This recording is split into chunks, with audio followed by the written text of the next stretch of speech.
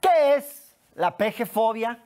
Como ya dijimos, la pejefobia es un rechazo desbordado e irracional, un estado de ánimo exaltado frente a la figura de López Obrador, un desprecio a este personaje por el hecho de tener un origen relativamente humilde, por no hablar inglés, no haber estudiado en universidades extranjeras, por el hecho, digamos, de que un sujeto así ocupe un espacio de poder, de tanto poder como es la presidencia de la República, que se considera reservado a las élites.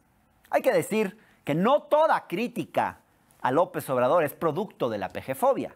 Desde luego que hay críticas legítimas hacia sus políticas y hacia su gobierno y hacia algunos personajes que son parte de su gobierno, pero esas críticas las hemos hecho y las seguiremos haciendo, pero hay que diferenciar esa crítica de otra crítica que es la crítica irracional, la que sale de las tripas, en los intestinos, la que es producto de este sentimiento, este, este clasismo, este racismo, todo esto de lo que hemos hablado.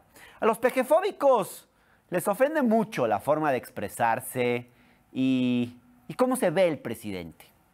De hecho, su forma de hablar es uno de los tópicos preferidos de los pejefóbicos. Veamos estos fragmentos donde se ve cómo incomoda profundamente su acento y en general su figura y su imagen. ¿No les gusta este señor que nos No, gobierna? Claro, pues es un ignorante. ¿Cómo le ¿Ignorante? A ver, Sí. cuénteme, cuénteme, ya descárguese. quiero decir ¿Por qué más. es un ignorante?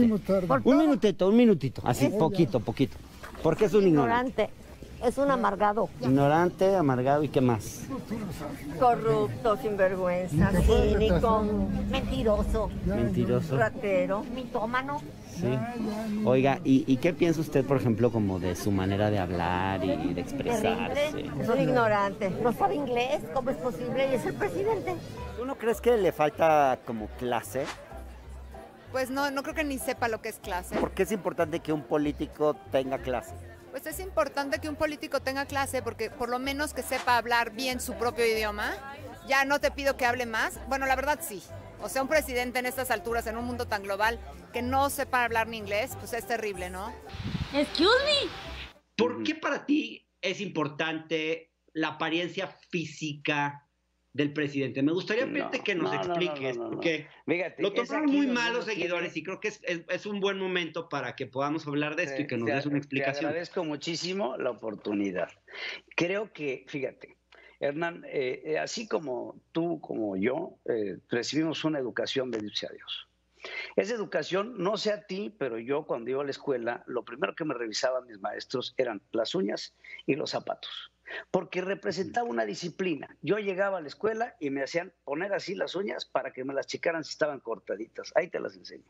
Me decían, a ver los zapatos para ver si estaban boleados. Es un asunto de disciplina, Hernán, es un asunto de educación, es un asunto Bien. de eh, como te ven, Entiendo te tratan en pocas palabras. Yo ¿Cómo sientes que se debería vestir? A ver, eso sí me interesó. ¿Cómo, cómo crees que debería vestirse? Por lo menos de traje que le quede bien, no todo fachoso. ¿Está muy fachoso? Sí, claro, para una imagen de un presidente no puede salir así. Le falta, digamos, clase también. También, por supuesto. Le falta clase, claro, preparación, educación, todo le falta. O sea, en ese sentido, mucho mejor Felipe Calderón. Mucho mejor, Felipe. Tenían como más, quizás más porte presidencial. Y, y- y México no estaba viviendo lo que vivió con, o sea, no- México no estaba así en primera. Claro, también lo de la pandemia, pues también súmale, ¿no? Pero sí, yo también, yo sí preferiría a Felipe Calderón mil veces. Es curioso, como siempre que critican a López Obrador, meten el tema de la educación como una forma de querer verse menos irracionales. Pero en el fondo, lo que les molesta es su acento, es que su manera de hablar no es la de ellos, que no tiene la cadencia ni el estilo de la clase media alta que les gusta a ellos escuchar que no habla como se supone que tiene que hablar un gobernante.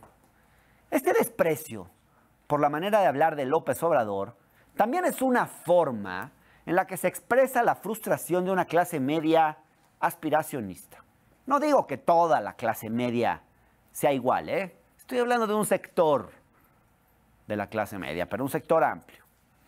A ese sector le molesta no tener un presidente cosmopolita, que hable idiomas o que no haya estudiado en universidades extranjeras. Es el mismo coraje que tuvieron contra el Aeropuerto Internacional Felipe Ángeles y su frustración por la cancelación del aeropuerto de Texcoco. Si algo aprendimos con esta obra de gobierno, es que sacó el aspiracionismo de los pejefóbicos y les dolió no tener su tan soñado hub de primer mundo, como dijo una de las entrevistadas. Veamos estos